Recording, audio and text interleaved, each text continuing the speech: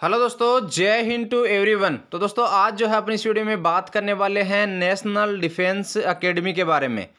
तो दोस्तों, इसका रिक्रूटमेंट आ चुका है, बहुत ही जल्द ही इसका आपका ऑनलाइन फॉर्म स्टार्ट होने वाला है, यानी सत्ताईस। सत्ताईस जनवरी से आपका जो है ऑनलाइन फॉर्म स्टार्ट होने वाला है।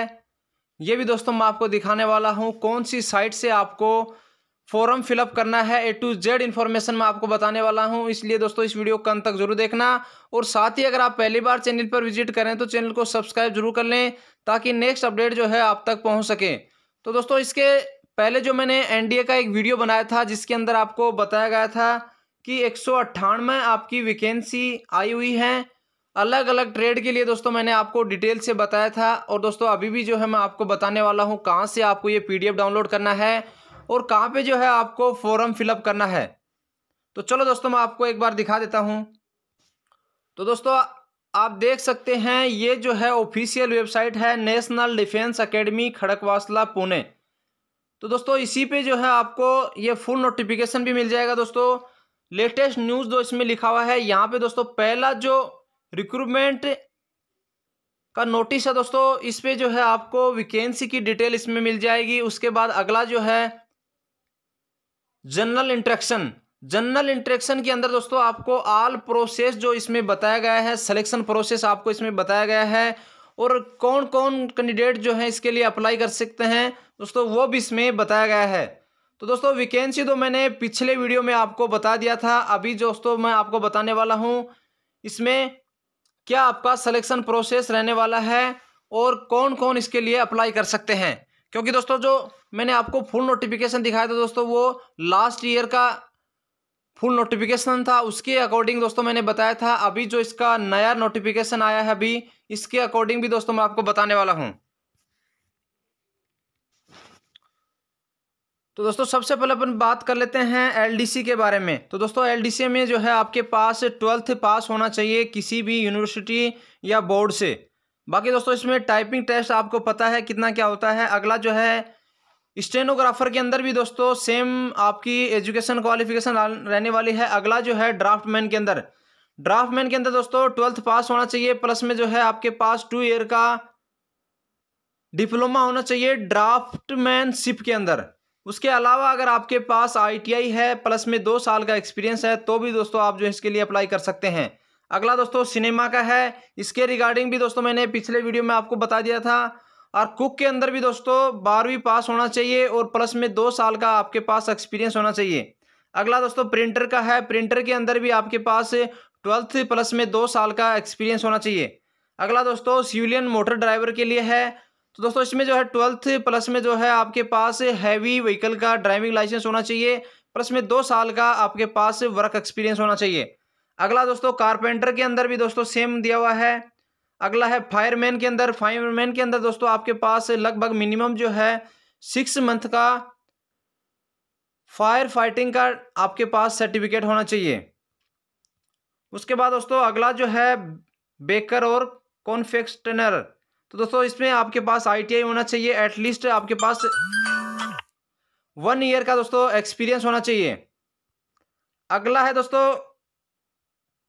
साइकिल रिपेयर का, इसमें दोस्तों टेंथ प्लस में एक साल का एक्सपीरियंस आपके पास होना चाहिए। अगला है प्रिंटिंग मशीन ऑपरेटर का।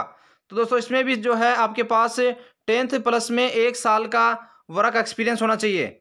अगला दोस्तों बूट मेकर का है और लास्ट में दोस्तों है एमटीएस का। एमटीएस के अंदर आपके पास जो है टेंथ पास होना चाहिए। इसमें किसी प्रकार का दोस्तों एक्सपीरियंस आपसे नहीं मांगा गया है। तो दोस्तों, सबसे पहले जो है आपका इसमें रिटर्न एग्ज़ाम होने वाला है। तो दोस्तों रिटर्न एग्ज़ाम से पहले इसमें आपको दिया हुआ है, मैंने आपको पहले भी बताया था कि आपका शो लिस्ट किया जाएगा दोस्तों।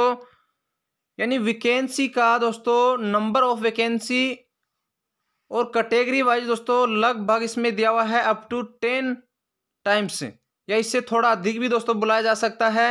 आपको दस गुना कैंडिडेट को दोस्तों नेक्स्ट फ़ेज़ के लिए या रिटर्न एग्ज़ाम के लिए दोस्तों आपको बुलाया जाएगा और रिटर्न एग्ज़ाम में क्वालिफाई होने वाले कैंडिडेट जो है चार टाइम्स दोस्तों इसमें बुलाए जाएँगे, यानी फोर टाइम्स नेक्स्ट फ़ेज़ के लिए।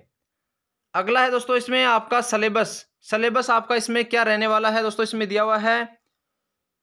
दोस्तों इसमें ये बताया गया नहीं है कौन सा सब्जेक्ट कितने मार्क्स का आएगा बट दोस्तों इसमें दिया हुआ है टेंथ और ट्वेल्थ का। इंग्लिश मैथमेटिक्स साइंस और question on general awareness will be similar standard and दोस्तों, इसमें जीके इंग्लिश रीजनिंग या जनरल साइंस आपसे दोस्तों पूछा जा सकता है। दोस्तों, इसमें प्रॉपर जो है मेंशन किया हुआ नहीं है। और दोस्तों, आपका रिटर्न एग्ज़ाम जो है दोनों लैंग्वेज में ही होने वाला है। ये दोस्तों, इसमें मेंशन किया हुआ है।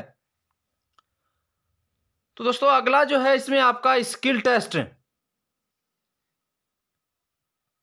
स्किल टेस्ट भी दोस्तों आपका रहने वाला है। Selection will be made strictly on the basis of the merit of the written test दोस्तों आपका जो ये ट्रेड टेस्ट होने वाला है, ये ओनली क्वालिफाई नेचर का है। Subject to candidate qualify in the test skill test and दोस्तों आपको ओनली क्वालिफाई ही होना इसमें।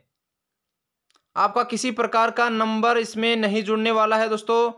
ओनली क्वालिफाई नेचर का है, आपका सिलेक्शन ओनली आपका रिटर्न एग्ज़ाम पे होने वाला है।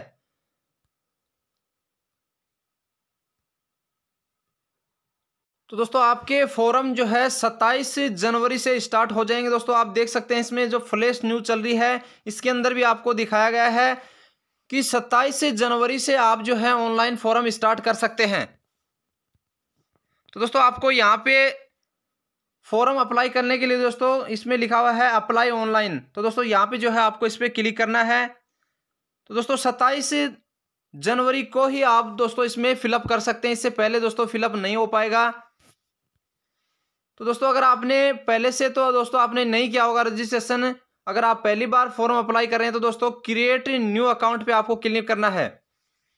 तो दोस्तों, इसमें इंस्ट्रक्शन कुछ दिए हुए हैं। उसके बाद दोस्तों, आपको फिलअप करना है अपना first name middle name last name उसके बाद दोस्तों अपना date of birth mobile number email ID और पासवर्ड और दोस्तों अगला आपका जेंडर सेलेक्ट करना है, उसके बाद कैप्चा नंबर सेलेक्ट करने के बाद आपको रजिस्टर लॉगिन कर देना है। यहाँ पे दोस्तों रजिस्टर लॉगिन हो जाएगा। दोस्तों अभी जो है आपका लिंक ये एक्टिवेट नहीं किया गया है। आप जो है सत्ताईस जनवरी से फॉर्म ऑनलाइन भरना स्टार्ट कर सकते हैं अपना। तो दोस्तों, जैसे ही इसका ऑनलाइन फॉरम स्टार्ट हो जाता है, आपको ज़रूर बताया जाएगा कैसे जो है आपको फॉर्म फिलअप करना है। तो दोस्तों, आज के वीडियो में बस इतना ही। धन्यवाद दोस्तों। जय हिंद।